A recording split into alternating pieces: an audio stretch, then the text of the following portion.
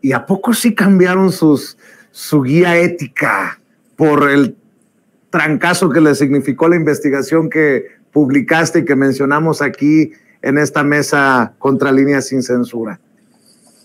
Nosotros, Vicente, acuérdate que lo revelamos el 24 de mayo de 2023. Ellos habían hecho una revisión a su código de ética en febrero de 2023 y el 1 de junio hacen esta modificación. Si volvemos a googlear, eh, cualquier persona que lo haga, va a encontrarse ya esta modificación fechada el 1 de junio. Y pues no puede ser en respuesta a otra cosa porque el antecedente y los únicos que hablamos de eh, este código de ética que permitía el Chayo, pues fuimos contra línea y sin censura, Vicente, y algunos eh, que pudieron haber retomado este tema, pero en realidad si tú te fijaste, no hubo gran impacto en la prensa y no lo hubo básicamente porque es que es toda una cadena de, es que ni siquiera sé cómo eh, llamarlo, pero de complicidades, hay que decirlo, hay que decirlo.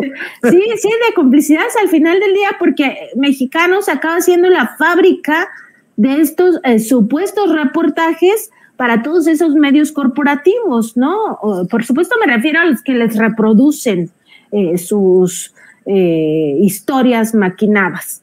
Eh, inventadas muchas de ellas, ¿no? Sin sustento eh, y por supuesto sin rigor periodístico, faltando a la ética muchas de ellas además. Y eh, en el fondo también está el gran negocio que significa Mexicanos contra la corrupción y lo decíamos un poco en tono de broma, no sé si te acuerdas Vicente, en aquel programa donde nos referíamos a este código de ética, que quizá iba a haber una fila de reporteros y reporteras cuando se enteraran que en mexicanos pagaban 3 millones de pesos por investigación, ¿no?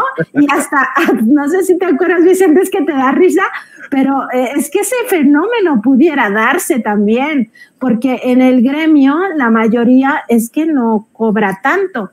Y yo dije en la mañana, pues sí, la mayoría cobra entre 10 mil pesos, 15 mil, y ya los que les va muy bien, 30, 40, e incluso 50 mil pesos al mes, ¿no?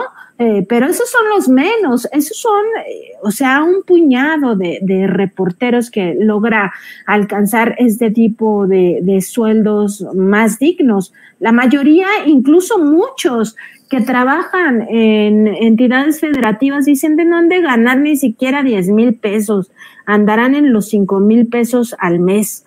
Entonces es insultante que nos vengan a decir que una investigación cuesta 3 millones de pesos.